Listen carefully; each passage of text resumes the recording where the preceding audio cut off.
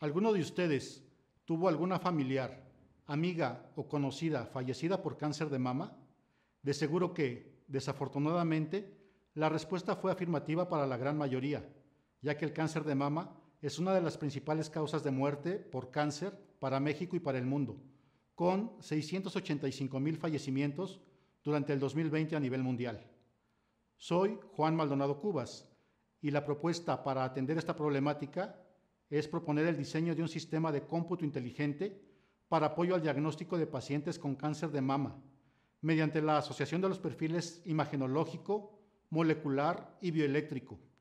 El proyecto consiste en desarrollar un sistema de cómputo inteligente que asista a pacientes con sospecha de padecer cáncer de mama triple negativo, utilizando su perfil imagenológico definido por su mastografía, su perfil molecular definido por la expresión génica de canales iónicos de muestras de tejido y su perfil bioeléctrico definido por las corrientes iónicas y la bioimpedancia de muestras de tejido.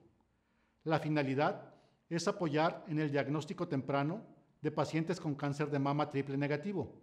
La razón de enfocarse en este tipo de cáncer radica en que es de los más agresivos y con menos opciones terapéuticas, además de representar aproximadamente un 20% del total de los casos reportados de cáncer de mama.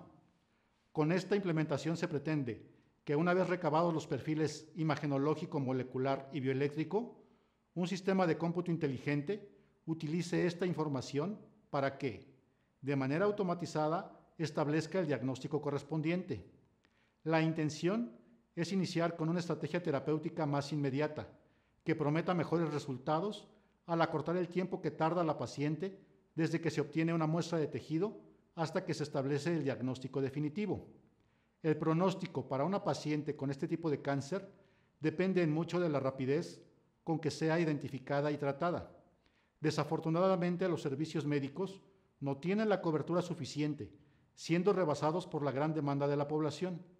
Con esta propuesta se pretende implementar una nueva estrategia que, sin requerir la presencia de profesionales de la salud altamente especializados, pueda identificar con precisión a las pacientes que padecen esta enfermedad, acelerando así el diagnóstico y el tratamiento. La única opción viable para lograr una cobertura universal de salud es mediante la incorporación de herramientas tecnológicas para apoyo al personal médico.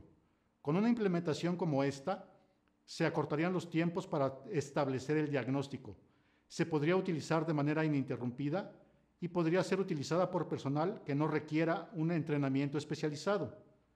Para un proyecto de este tipo, pueden incorporarse profesionales con distintos perfiles. Te invito a que lo conozcas y te unas a él.